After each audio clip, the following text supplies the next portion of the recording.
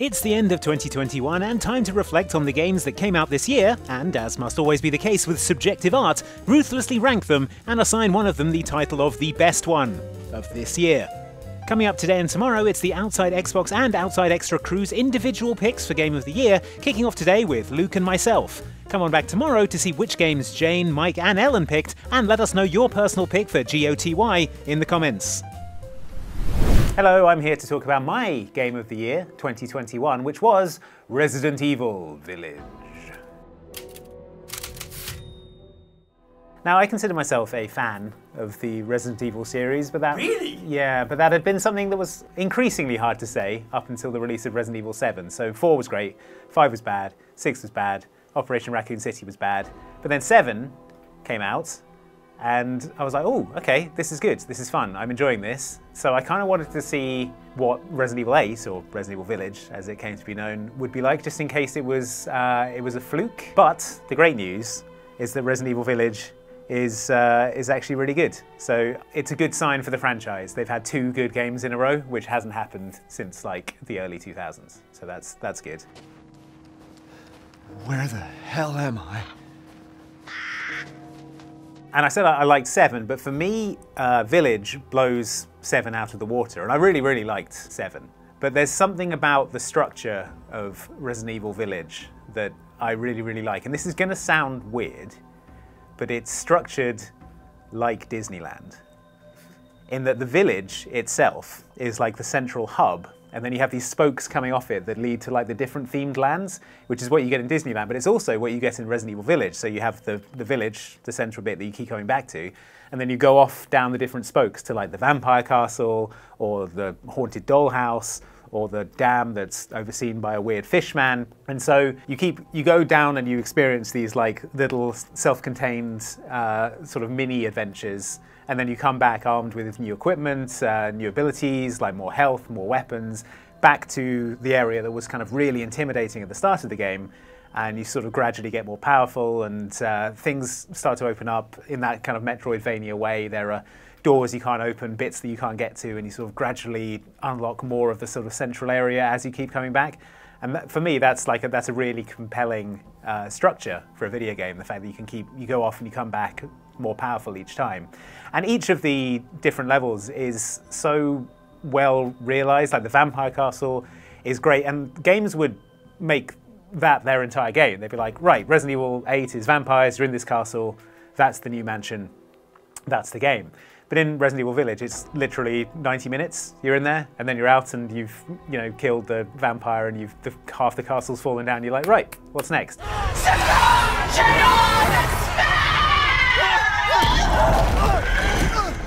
about the tall vampire lady.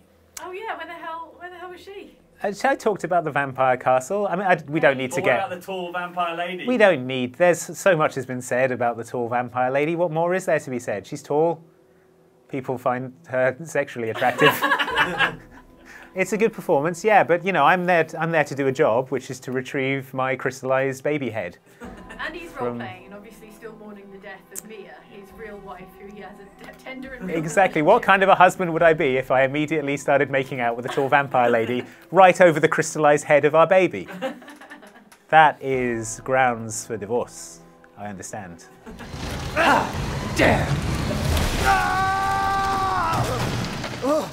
And then you move on to the Haunted Dollhouse, which is again a completely different experience. You do that, and then you move on to the Dam, which is again completely different. And you know, it's not perfect. They're not all amazing. It's like the problem with every Resident Evil game. is There's always one bit that's set in some somewhere like industrial or a lab or some sewers, somewhere boring, and it goes on for way too long, and it becomes not fun. And in this game, that is the factory which is towards the end of the game. So I think that was like a big criticism that people had. But even so, it didn't. I didn't feel, feel like it dragged too much for me, and I was having so much fun anyway. Like the, just the general minute-to-minute gameplay, the combat, and the survival horror, managing your resources and stuff, is so compelling to me that none of that stuff bothered me.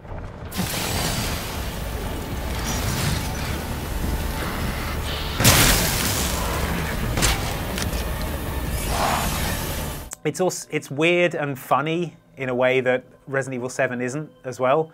Like a lot of really like hyper realistic or like surreal elements to it. Like the characters, like the Duke, who is just an extremely strange traveling merchant who can seemingly teleport around the map.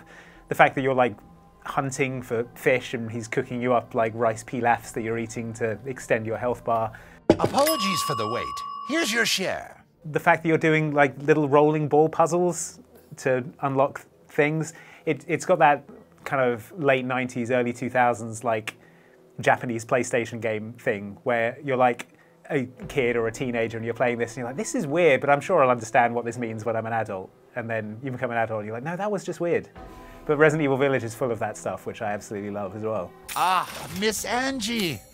Just adorable. Porcelain dolls are very popular, you know. It feels like the, the successor, the heir to Resident Evil 4, which was my previously favorite Resident Evil game, in that it sort of carries on like a lot of the same feel, but also some of the um, some of the mechanics as well, like the merchant being in it, and um, it's also like Resident Evil 4 is packed full of secrets as well. Like there are whole puzzles, areas of the game. Like there's a uh, like a treasure tomb that you can completely bypass if you're not paying attention or if you just want to crit path it. It's got tons of that stuff with like loot that's actually worth having. Um, so it's not just like you play it and then you're done. Like I've played through it like two and a half times now, just going back to like look for secrets and find stuff that I, when I first played it through, I was like, I must explore that part of the map, but didn't get around to it. So I was like, well, this time I'm going to go and find out what that's all about. And it's never disappointing. It's always something that's worth the journey. I'm interested to see if they can keep it up because uh, at the end of Resident Evil 8, there's a bunch of stuff with like government agencies and Resident Evil is always at its worst when it's dealing with like teams of commandos or government agencies or the military or something like that. So I'm really hoping they don't now take a sort of turn into that slightly boring corporate warfare Resident Evil that they, they tend to get bogged down in a lot. That was a lot of the stuff behind Operation Raccoon City and um, some of the Revelations stuff as well that I didn't really dig. But yeah, I'm hoping that this sort of the main series Resident Evil keeps on this trajectory because I'm really enjoying what they're doing with it at the moment. And Village was was such a great game. Ethan, I heard explosions. What the hell happened? In terms of like honorable mentions, I kind of vacillated between this and Psychonauts 2, which uh, is getting my honorable mention for this year because I really, really had a good time with Psychonauts 2. It's a sequel to the original Psychonauts, which came out in 2005. It's a kind of action platformer based around this team of psychic commandos. They go into, inside people's brains and they um, all the levels are based around jumping into the heads of uh, different people and so the thing that that game has in, in, spades is, is variety because inside of everyone's head is different and it changes up the gameplay so completely so often like one level you'll be inside a sort of casino and you'll be uh, running around inside casino games. You'll be the ball in a pachinko machine, and then the next level you'll be uh, traveling around, like sailing a door on an ocean between islands, and it's a, just again a completely different gameplay style. Uh, the art style is amazing, all the character design, the music. Uh, Jack Black is in it; he does a voice in that. Uh, you go inside his character's head, and it's starts out completely black and then you kind of unveil all his different senses and the level sort of fills with color and music as you do it. It's just, it's beautiful. And I can see each molecule through my cosmic eye. I played through the whole thing in like two or three sittings. It's just really compelling. Had a really good time with it. Awesome production values, uh, great story, and a surprisingly deft touch on the mental health stuff that it deals with, which I wasn't expecting but was definitely welcome. So yeah, honorable mention goes to Psychonauts 2. I would definitely recommend people pick that up. Uh, but for my game of the year 2021, it's Resident Evil Village, which uh, I think if you haven't played it and if you like horror, because it is pretty full on at points, there is some pretty grody stuff in there. But if you can deal with that, uh, Resident Evil Village is my game of the year. What did all this? Predictions. Predictions for Resident Evil 9. Well, my prediction now is that it, you'll be playing as Ethan's daughter, and it will be in a lab, and there'll be men in suits, and it will be like, oh, you have to topple the organization from within in this lab factory. Please don't do that. Set it in. Okay, we've already had a haunted dollhouse. acceptable settings. Um, well, mansion, do it in a mansion, or a train that looks like a mansion, or a boat that looks like a Or a mansion, station or a looks like a police station that looks like a mansion. Okay, what haven't they done? Zeppelin, airship, like airship that looks like a mansion. Space station that looks like a mansion. Uh, I don't want to get Jason Jason X on this. That's Yeah, not. you do. No, I don't. Resident Evil should be the franchise that gets uh, a yearly game like FIFA. Or, instead of FIFA or Call of Duty, you know how we get one every year. Let's get a story-based first-person Resident Evil game set in something. That, yes, yearly. I want them yearly, like You Call know of. they'd be bad if they. No, they'd be good. Just uh, you've already got the engine. All you need to do is come up with a new thing that's a mansion. All you need to do is make It's come, yeah, Evil. exactly. A big car that's a mansion, or uh, an I'm un- into that. underground mansion. Submarine. Submarine Mansion. This is all gold, Capcom. Hello, Luke. Hello? Tell, tell me now, what is your game of the year 2021? Metroid Dread. What? Yeah. What? Metroid Dread. Are you for serious? With an honourable mention to Monster Hunter Rise, ended up uh, sinking hundreds of hours into that game. Good fun. Uh, uh, Monster Hunter, a long running, respected series that I actually have played relatively little of, and um, but ended up really, really loving 2021's entry. And actually, that is exactly the same situation that I found myself in with Metroid.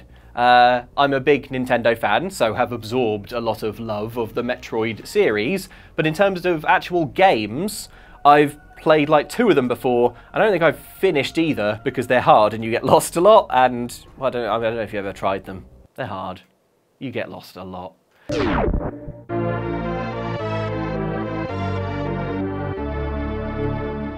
Metroid, it's been nearly two decades since the last 2D Metroid game came out. Uh, if you're not familiar with the series, you play as a bounty hunter, a bounty hunter called Samus, uh, who invariably at the start of each game ends up losing all the powers you worked so hard to acquire in the last game and has to run around uh, a, a large interconnected world uh, getting one power up that lets her go back to somewhere she's already been, but now go through a new door because now she's got the thing that gets you through the new door, and, and, and you sort of work your way outwards like a spider, building a web, this, this vast sci fi map.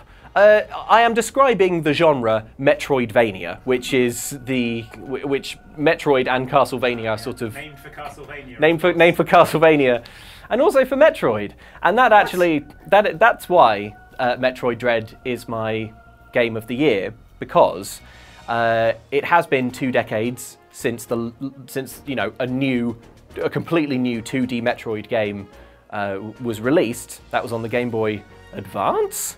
Uh, you know, like a really, really long time ago. And in that time, the Metroidvania genre has gone from strength to strength, and you've had incredible games like uh, Guacamelee, the two Ori games, which I know Ellen is a huge fan of.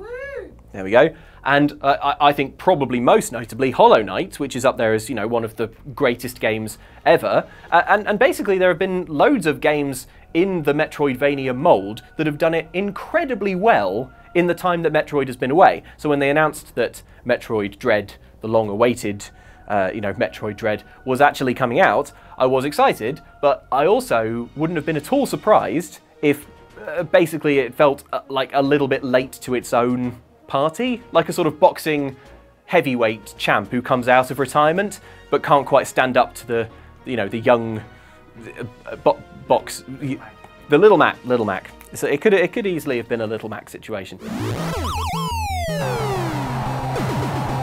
But as it turned out, Metroid Dread was, was brilliant. It's one of the best Metroidvania games out there. It feels incredibly satisfying to play. I think that's the thing about it. When I look at footage, I feel a little bit like this about Breath of the Wild. When I look back at footage, I think, why do I like this game so much? But when, when the controller's in your hands, it's a different story. It feels incredible. The animations are beautiful, silky smooth. Samus is a complete badass throughout. And just getting around is an absolute joy. It's also got one of the best maps I've ever seen in a video game. It has this incredible feature, which is revolutionary, which lets you highlight every door on the map for the, that is opened by the thing you just got. So in terms of like backtracking and figuring out where you can go next, it makes navigating this vast world way easier.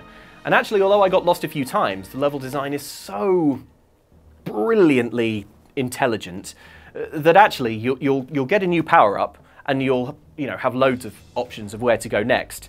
and you'll just pick one seemingly at random, be like, uh, I don't know, this one, and you'll head down that path and find out that actually that is where you're supposed to be going because the game has been subconsciously, brilliantly shepherding you through. And so actually, this this huge world that you could easily get lost in, for the most part, it you feel like you always know where you're going and it, it makes sense in a way that you absolutely wouldn't expect. I also would shout out the boss fights, which are unbelievably hard, really, really savagely difficult, uh, and something that I've learned about myself in the last few years is that um, I, I, actually really like it when games are, are, are, are so, so hard as to be almost unenjoyable.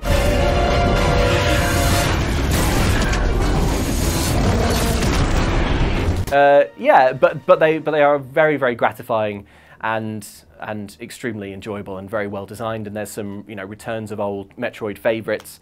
Uh, it, Would you say it psychically manipulates you like Derren Brown, but for good?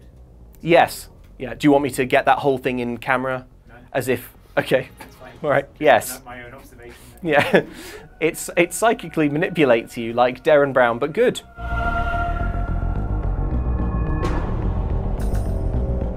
Yeah, so it's got this new feature that they've not done in a Metroid game before, or in fact in I can't think of another example of it of something like this in a game of this type. There are these robots that hunt you relentlessly, um, and you cannot beat them. Uh, and if one of them catches you, you have a sort of split second, I think it's randomized chance to uh, sort of stun them and, and break free for a few seconds, but it mostly, it, you know, is difficult and can't be done. So, uh, I, most most likely, if an enemy gets you, you will be insta killed in a fairly unpleasant cutscene. Um, another aspect of Metroid Dread that I was worried about because I thought that doesn't actually sound like a great deal of fun. But as I said, Samus is such a badass that what the EMMI sections do is that they do turn that on its head and they make hiding and sneaking feel very exciting and, and, and very cool. And actually, when you do eventually get to uh, destroy an EMMI, it is incredibly uh, satisfying and you really feel like you're, you know, striking a blow for the good guys. Um, uh, in the end, I ended up 100%ing Metroid Dread, and as far as I can remember, the only video games ever that I've 100%ed were Pokemon Red and Metroid Dread. And I only do ones that rhyme and have that syllable count.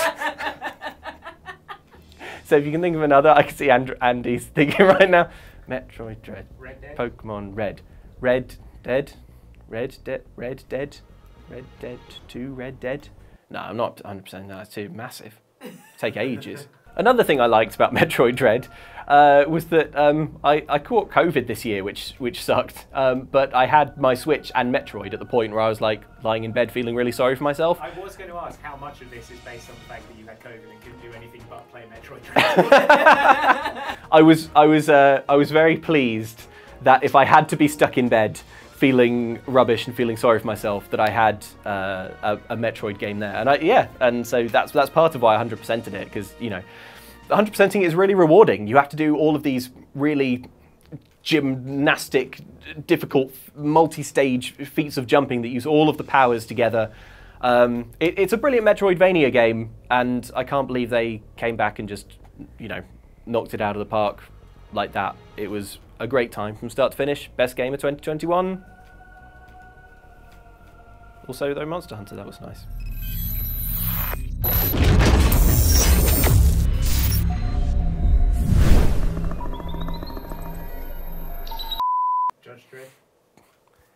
Judged, yeah, uh, it needs two syllables to begin with. Although uh, Pokemon Red, Metroid, Dread. Yeah. It needs more than one syllable to start with. Dragon Ball Z? Dragon Ball Z. Oh, yeah, there, Dragon Ball Z. as it's as it's pronounced. Uh, yeah. Next game to be 100%. yeah, yeah. Well, having given you my opinion, which I'm sure you trust, uh, now I, respected games journalist Luke Westaway, I'm off to 100% Dragon Ball Z. Dragon Ball Fighters Z. Dragon Ball Fighter Z, Z, Z. Dragon Ball Fighter Z. Yeah. Yeah, Metroid Dread's good, so give it a chance. Give it a chance. I thought as much. All right, Siri.